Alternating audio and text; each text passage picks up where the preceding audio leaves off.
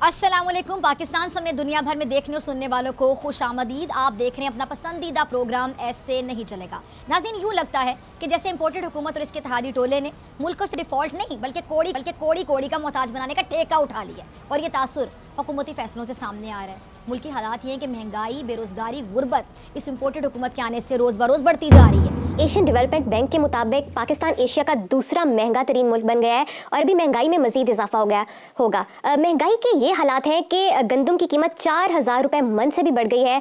आटा फ़ी किलो एक सौ तीस रुपये प्याज दो सौ चालीस रुपये किलो और अंडे तीन सौ रुपये दर्जन में मिल रहे हैं। देखो मरियम मैं एक बात बताऊँ ये मुस, ये बर्र सग़ीर के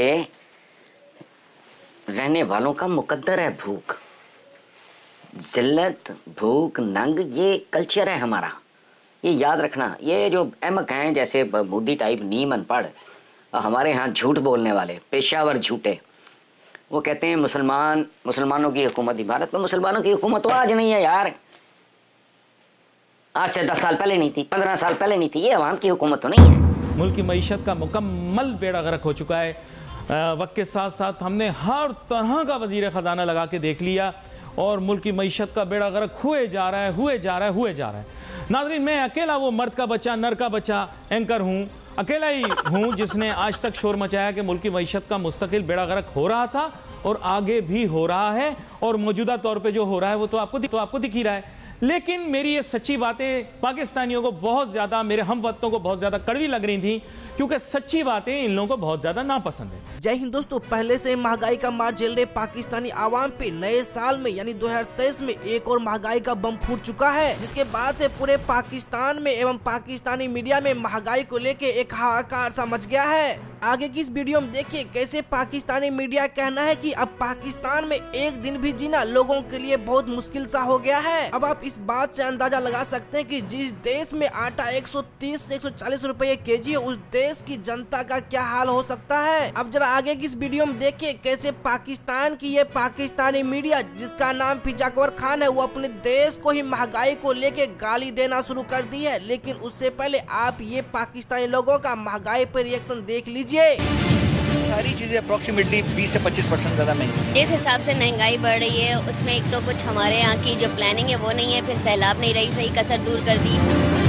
साठ साल ज़िंदगी में मैंने इतना फ़र्क नहीं देखा। खुदा के बंदो, कुछ तो कंट्रोल करो। ये कौन है जो बिजली के बिल बेच रहा है? ये कौन है जो जो फ्यूल एडजस्टमेंट लगाया जा रहा है? हर महीने इन सवाब का काम समझ के लगाए जा रहे हैं। दस हज़ार वाला बिल पचास पचास हज़ार में आ रहा है। मार दो, खुदा के लिए हमें मार दो और हम मर। आवाम की चीखें सुनने वाला कोई नहीं है। इन चीखों को सुनकर बोलने वाला मुल्क का पिचानवे फ़ीसद मीडिया, हुकूमत का ही आलाकार बन बैठा है और वो उसी एजेंडे पर काम कर रहे हैं, जो हुकूमत की तरफ़ से उन तक पहुँचाया जाता है। मगर हमेशा की तरह बोल न्यूज़ हक और सच की आवाज़ बना हुआ था।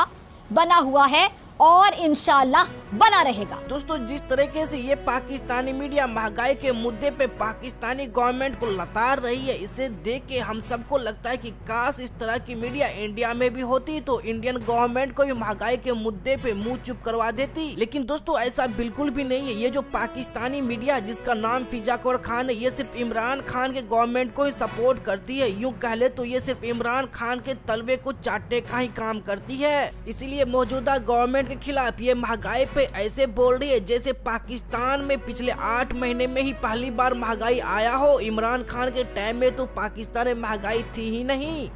और गुजशत आठ महीने के दौरान वैसे ही हमें दहशत गर्दी की एक नई लहर का भी सामना करना पड़ रहा है और हालात एक बार फिर से पंद्रह साल पीछे की तरफ़ धकेले जा रहे हैं।